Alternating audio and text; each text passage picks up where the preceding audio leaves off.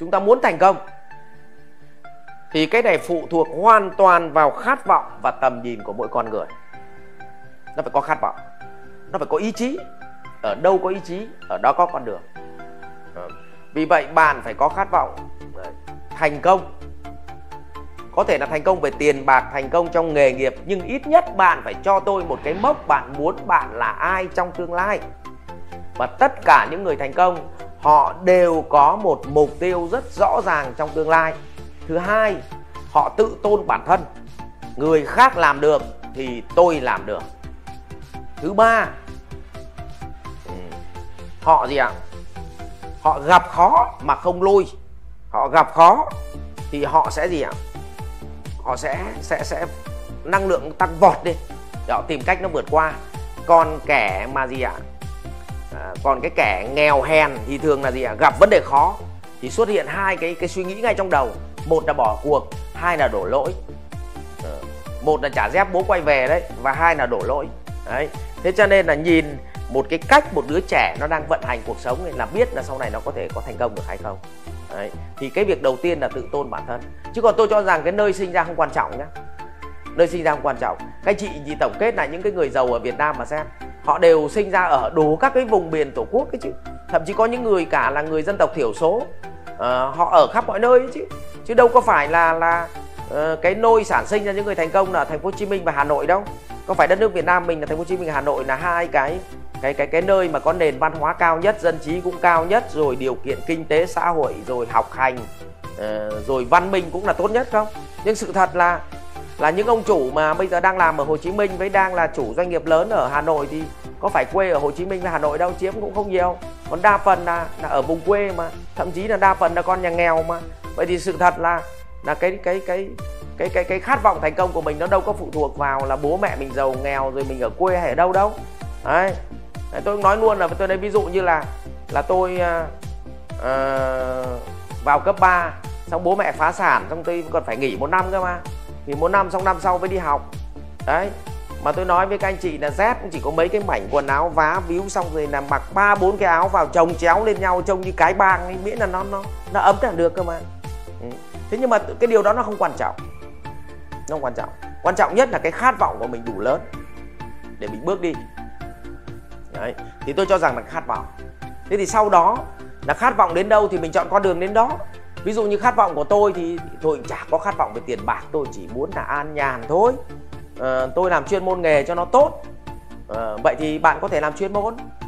À, nếu mà bạn à, làm chuyên môn mà đi làm thuê thì một là bạn phải à, có thái độ tuân thủ hai là kỷ luật ba là trung thực.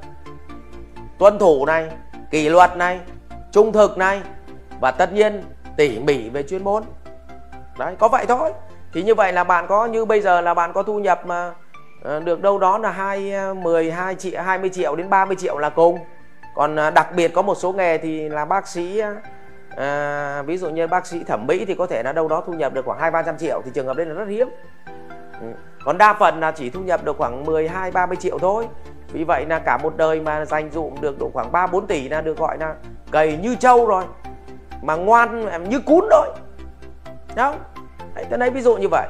Nhưng mà nếu mà khát vọng của mình lớn hơn một chút thì con đường của mình đi thì mình có thể là là xác định là tự làm. À, tôi sẽ đi làm thuê một thời gian rồi tôi tự mở ra một cái gì đó tôi làm. Đấy. Thế còn nếu mà khát vọng của tôi lớn hơn tí nữa thì tôi sẽ làm chủ 30 tuổi tôi sẽ khởi nghiệp và tôi sẽ thuê anh khác về làm. À, và có thể là khi mà tôi làm chủ và đến năm độ khoảng 45 50 tuổi thì tôi không còn sức khỏe nữa thì tôi sẽ không trực tiếp đứng điều hành thì tôi có thể là ném cho anh chủ tốt vì vậy tôi là nhà đầu tư. Giống như Warren Buffett ấy, là họ là nhà đầu tư. Vậy thì tất nhiên là để họ trở thành một nhà đầu tư thì họ đã lõi trong cái việc gì ạ? Vận hành doanh nghiệp rồi họ đọc vị doanh nghiệp rồi. Chứ còn dân Việt Nam mình mang tiền đi đầu tư có hiểu gì về doanh nghiệp đâu. Toàn ờ, trông chờ và ném bừa vào đấy xong trông chờ rằng là là một ngày nào đó nó giàu có. Không có không có, có kiểu đấy. Người ta người ta chơi bằng một cái trò chơi mà nếu có trí tuệ nó khác hẳn. Chứ không chơi trò chơi là may rủi. Đấy, thì báo cáo cả nhà như vậy. Thế thì à, một trong những cái nỗi đau ở Việt Nam là không có trường nào đào tạo làm chủ. Chính vì vậy mà tôi à, tôi khát khao tôi khát khao phải tạo ra một cái trường để huấn luyện để làm chủ cho doanh nghiệp. Vì vậy là cái trường mà doanh nhân CVG ra đời trước đây đặt tên là là trường doanh CEO trường doanh nhân CEO Việt Nam thì sau này đổi tên là CBG tại sao đổi tên là CBG là bản chất là CEO Việt Nam Global. Tức là bọn tôi sau này muốn ờ, đóng gói cái chương trình này và đào tạo quốc tế. Tức là tại sao bọn Tây nó mang chương trình ờ, vào Việt Nam để nó đào tạo cho người Việt Nam mà nó ăn tiền được? Mà tại sao chương trình của mình hay, mình không đóng gói và mình mang ra nước ngoài để mình làm? Tất nhiên là đó là một cái khát vọng. Còn làm được hay không, nó là cả một cái quá trình rất là kỳ công nữa thế thì cả nhà hình dung là tôi phải phải tạo ra một cái trường à, trường đào tạo chuyên gia làm chủ. Tôi gọi là chương trình business boss vậy thì để làm chủ được thì nó có mấy cái nền tảng mà mình phải huấn luyện. Một là các chú ấy phải có khát vọng để vẽ được bản đồ cuộc đời. Cái câu chuyện thứ hai là để thành công đi trên cuộc đời mình thì nó, con người mình nó chia làm bốn cái tầng, bốn cái tầng. Tầng sâu nhất là tầng tâm thức, tức là cái tâm thức của mình có đủ khát vọng không, có đủ tử tế không? Có đủ vì cái mong muốn cái quốc gia này phát triển không? Ừ, có đủ hy sinh cho người khác không? Thì mới gọi, tôi gọi đây là tâm thức. Thì nó mới sinh ra cái phẩm chất. Nó mới sinh ra phẩm chất. Vậy thì từ đó là nếu cái tâm thức của mình đã đủ khát vọng, thì bắt đầu xuất hiện những cái phẩm chất này, tự tôn bản thân này, phẩm chất vượt khó này à, phẩm chất trách nhiệm này à, phẩm chất là học tập này, mỗi ngày này à, phẩm chất là là lắng nghe người khác này phẩm chất là biết tôn vinh người khác này. Bắt đầu nếu từ cái tâm thức đấy thì nó sinh ra một loạt các cái phẩm chất. Ừ. Xong từ phẩm chất thì nó mới lại sinh ra tiếp kỹ năng. Xong từ kỹ năng nó mới ra hành vi. Cho nên đến bây giờ là các nước mà tiên tiến, họ không dạy kỹ năng nữa, mà họ tập trung vào dạy phẩm chất. Họ dạy phẩm chất. Cho nên ví dụ như là là họ bắt ông dậy sớm. Tuân thủ cái việc tập thể dục à thì khi mà ông tập thể dục và ông sinh hoạt một cách khoa học kỷ luật thì tự nhiên là sức khỏe của ông trong một ngày nó tốt. Thì người ta không cần phải dạy là cái kỹ năng làm thế nào để chống buồn ngủ kỹ năng làm thế nào để không bị ngáp kỹ năng làm thế nào để đến uh, cuộc họp đúng giờ kỹ năng làm thế nào để đứng trước người khác nói nó năng lượng. Không cần. Mà khi mà anh có một thói quen kỷ luật anh dậy đúng giờ anh tập thể dục anh ăn uống một cách khoa học thì tự nhiên là tất cả những cái kỹ năng đấy nó sẽ xuất hiện chứ. Nó đâu cần phải dạy. À, vậy thì à, cao cái cái chiều sâu nhất trong con người nó là tâm thức. Xong đến cái tầng thứ hai là tầng nông hơn là tầng phẩm chất. Xong cái tầng thứ ba là kỹ năng nó tự nảy nở. Và tầng thứ tư bắt đầu nó mới xuất hiện các cái hành vi nó văn minh. À vậy thì mới quay trở lại cái câu chuyện là cái trường mà huấn luyện doanh nhân của bọn tôi là bọn tôi phải huấn luyện cả thân tâm tuệ tức là huấn luyện từ tâm thức xong nó sang đến phần tư duy trí tuệ. Nó tôi gọi là đào tạo ra phẩm chất đấy thì từ phẩm chất nó mới đẻ ra tất cả các kỹ năng. Thì đào tạo để ra làm chủ. Và đặc biệt cái ngôi trường này là phải là các chủ doanh nghiệp. À, các chủ doanh nghiệp dạy.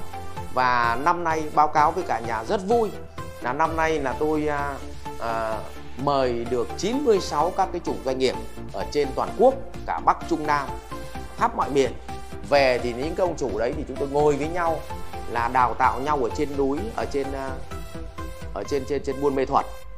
Là bọn tôi làm cái việc đấy là đào tạo nhau à, 3 khóa.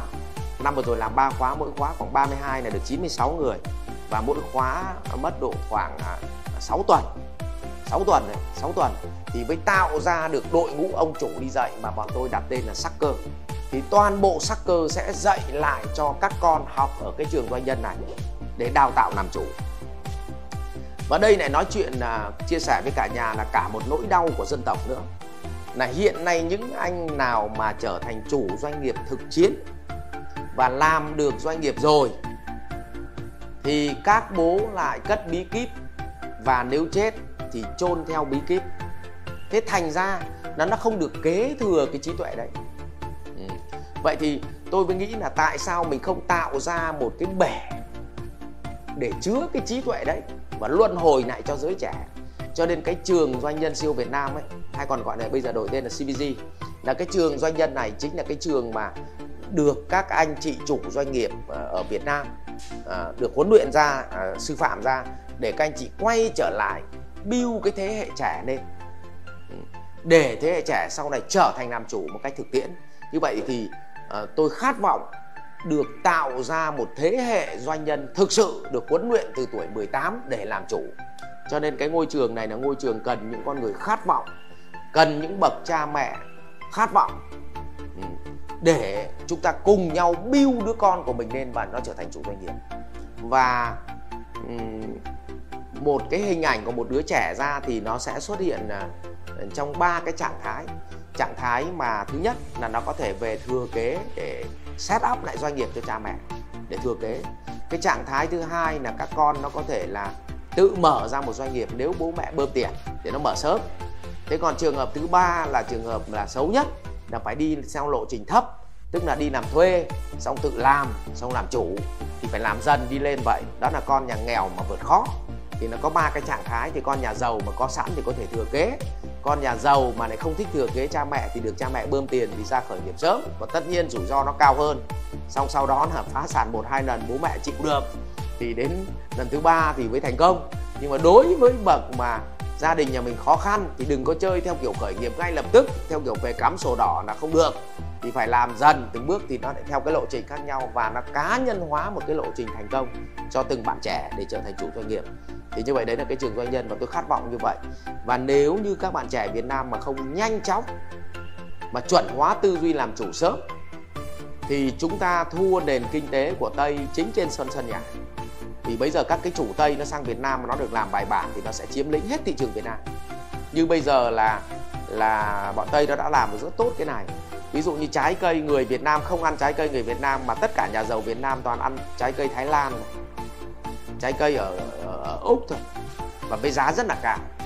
Vậy thì có phải là họ họ đã được mở cửa hàng và họ chiếm lĩnh thị trường của Việt Nam không? Bởi vì chủ Việt Nam là không có đủ trình cho nên dẫn tới là gặp rất nhiều khó khăn. Rồi, ok. Và đấy cũng là khát vọng dân tộc.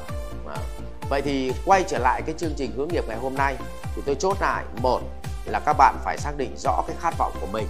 Nếu có khát vọng rồi thì các bạn mới chọn được con đường đi. Đường đi thì có bốn.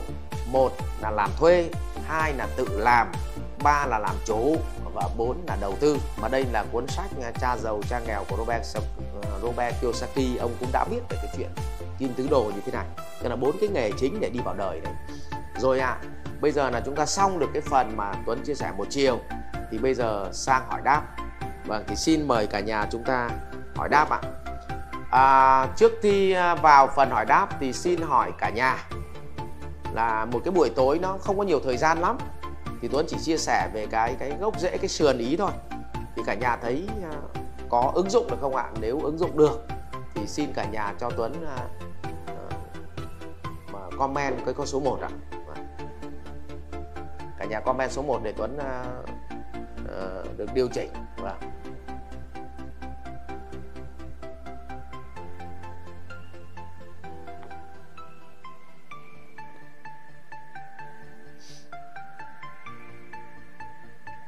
Rồi cảm ơn uh, Nguyễn Đức Cảm cảm ơn uh, Hoàng Bình. Yeah. Cảm ơn Phúc Nguyễn. Rồi à, Tuấn à, cũng chỉ hy vọng là những cái chương trình như thế này thì nó sẽ giúp được cho các bạn trẻ đánh thức được cái khát vọng lên đánh thức được một cái tính chủ động trong cuộc đời hơn. Chứ tôi rất sợ một đứa trẻ nói thật với cả nhà là nhìn cái cảnh mà thỉnh thoảng ở Hà Nội này tôi uh, uh, phóng xe ra đường mỗi sớm thì nhìn thấy cái cảnh một bà mẹ là 50 cân, chở một thằng con khoảng 7 80 cân đi trên một cái con xe lít mà thằng con à, phải chở nó đến cổng trường. Xong rồi nó nó béo như heo vậy mà còn phải dặn là, con ơi, nhớ ăn cái này vào, con ơi, nhớ đi như thế này. Tức là một đứa trẻ nó nó học lớp 12 rồi và nó nó nó hoàn toàn bị động mà một bà mẹ chỉ có 4 50 cân thôi mà phải chở đứa con đến tận trường. Tức là một đứa trẻ nó vô cùng bị động thì đấy là rất là đau đau khổ cho một dân tộc.